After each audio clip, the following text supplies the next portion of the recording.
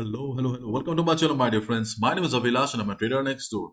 In this video, I'll be analyzing the chart of GBP USD for Monday. So if you're watching my videos for the first time, you can subscribe to my channel for regular market analysis. So let's get started. My dear friends, before I proceed, I would like to make an announcement that I will not be available on Monday and Tuesday. I'll be out of station, so I'll be back again on Wednesday. Okay. So first of all, let's look at a news that is euro sterling falls sharply amid jitters over european banks. Euro and sterling fell sharply against the strengthening dollar on friday amid nervousness over banks with better than expected economic data failing to lift sentiment. As we all know that dxy showed heavy sell-off and made a low of 101.93 this was the low made by DXY and the overall sentiment was extremely bearish but market absorbed the news and we got to see good amount of recovery on the chart of DXY. Though the chart uh, setup is not very positive but DXY is showing good recovery and there is a good possibility that after the market opening DXY will show further recovery. To continue the recovery or the uptrend, DXY needs to cross 103.50 level. If DXY breaks this level here, then the road will be clear and the next stop for DXY will be 104. So after the market opening, if DXY shows an upside also, this is the level DXY needs to cross first. And usually in this type of market setup, when the market is forming lower lows, usually this type of support levels do not work but right now the sentiment has changed. Market has absorbed the data. Market has absorbed the fed decision of pausing the interest rate hikes. And as a result the support of 101.93 is still valid. So this is the support on the chart of dxy right now and and it should continue the up move for the next coming days. And in case uh, any news comes up during the weekend because news uh, weekends can be scary especially in this type of okay uh, situation when we cannot predict the market the next day. Okay so be careful. So this is the one hour chart of gbp usd in front of us. So after this sell-off gbp usd closed at 12228 this is the last traded price. Okay so there are many levels i have marked on the chart. So let's discuss one by one. So first of all if GBP USD. Okay, if GBP USD shows weakness and go for a big sell, then we have support around 1.2190 to 1.2175. You can see here I have marked this box, the green box here. So this is the support zone on the chart of GBP USD.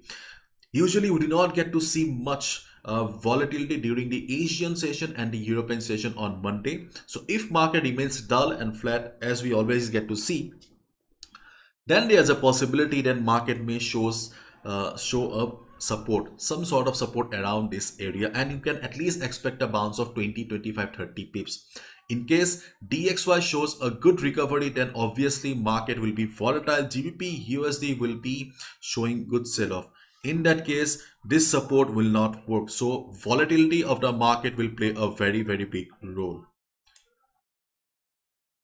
if GBP USD breaks this level, you can also go for a sell position. But yes, overall the trend of the market is up. So as a result, do not forget to follow proper risk management. Do not go for a blind sell off. Okay, so you should be ready.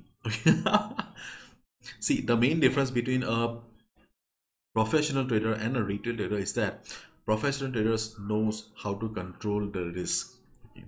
we retail traders usually look at the profit first but professional traders okay when they spot a trading opportunity on the chart the first job okay is to look at the stop loss and they calculate the risk first okay so they so that they can know from before only if the trade goes in the wrong direction the how much money they will be losing the profit okay the profit is something that we can only expect from the market. The profit is not in our hand. Loss is the only thing that a trader can control. So if you really want to survive in this market then you need to learn to control the loss. Okay so enough speech. So if market breaks this level here you can also go for a sell position. But overall the trend of the market is towards the upside. So please do your calculation. Okay. And the next support on the chart of gbp usd will be around 1.2136 so if market starts falling then this is the level where you can expect the market to take some support. Okay.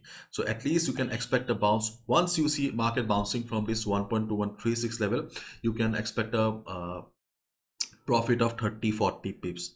I'm not saying that this will be the level from where a trend reversal will come but at least you can expect a bounce where you can make 40 to uh, 30 40 pips. Okay. So this is the chart of gbp usd and these are the levels if market starts falling after the market opening. And if market starts going up after the market opening then we have two resistances or two sell opportunities on the chart the first sell opportunity will be around the 100 moving average the blue line here and the level is 1.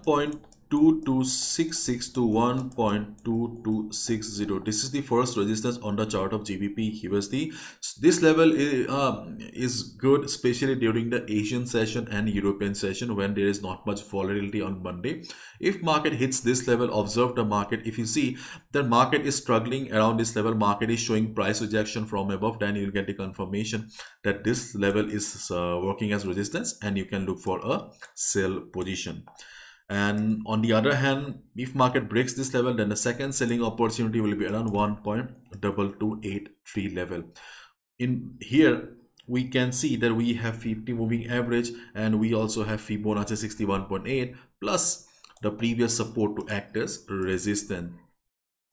See this is the Fibonacci we are considering here okay so 1.226066 is first resistance and 1.228380 is the second resistance on the chart of gbp usd where we can expect the market to reverse. If not a complete trend reversal at least we can expect a reversal for day trading purpose where we can um, make 30 40 pips easily. The reason behind considering considering sell positions on this on this uptrend market is that okay right now we can see this market sentiment okay market sentiment is slowly changing okay. Otherwise i always prefer to stay with the trend of the market okay but slowly the market sentiment is changing. So as a result i'm expecting that if market goes up also there will be some pressure from above. If market reverses according to our expectation then we can obviously look for a sell position. But my friends confirmation will be obviously very very important if you see market at a particular support then always try to look for price rejection from below. It can be on the hourly time frame 30 minutes time frame 15 minutes time frame. But yes market um, confirmation will be important. In case market goes up then confirming uh, price rejection from above will be an important factor because that will be the confirmation that though market is trying to go up but sellers are present and they are not allowing the market to do so. Okay those kind of understanding of the market sentiment is important. Anyways whatever I do follow proper risk management. This is my analysis. I can be wrong as well. No trader is 100 percent accurate. So do not gamble with your hard-earned money. As i always say capital protection should be your first priority always. Bye bye take care